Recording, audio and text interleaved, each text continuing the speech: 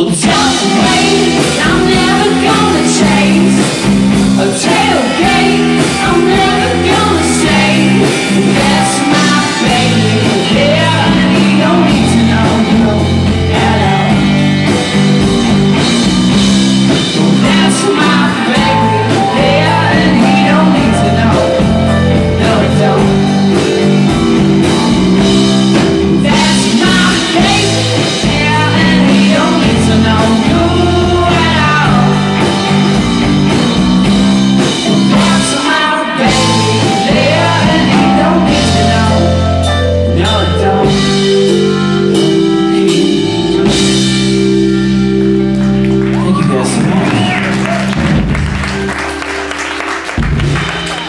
I'm so pumped that all of you guys turned out tonight.